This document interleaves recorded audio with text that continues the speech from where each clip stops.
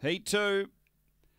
On their way, Barwell Boy step with them. There's speed underneath. It's pushing on, going with it, flying Ellen early. Barwell Boy trying to get to the rail. It does. Barwell Boy got over and found the uh, fence. Out by three. Flying Ellen does the chasing. Uh, then Springvale Alyssa trying to run on. Next, Super Sting, Albro Pedro, Pretoria Sun. And game over back at the end. It's Barwell Boy clear off the back by three. Flying Ellen sticks on. So does Springvale Alyssa up to the turn. Barwell Boy straight and clear. Uh, Flying Ellen bridging the margin a little. Barwell Boy hang on. Barwell Boy beats Flying Ellen. Third home, Springvale Alyssa. Then Albro Pedro from Super Sting. Game over. And Pretoria Sun back at the tail end. The time here to 30 and 13.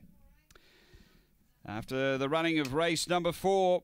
And uh, numbers are 7, 2, 4, and 8. Number seven, Barwell boy, Kieran Corby. He was able to spear over, grab the lead, set up a nice break. He got tired in the run to the peg but he had enough up the sleeve. Kieran Corby, owner trainer, a black dog, February 2016. Fabregas Wakina. Uh, two flying Ellen. She did run on late and bridge the margin back in the end, but uh, not enough. Uh, one and a half was that margin by one and three quarters. Troy Murray, uh, Fawn Bitch, March 2016. Barcia Bale Flying Cheryl, and four Springvale Alyssa. John Little, a black bitch, March 2016. Dyna Double One, Springvale Cool. It's 7 2 4 and uh, 8 fourth. Uh, 30 13 the run, sectionals 446 1687 after race 4 Angle Park.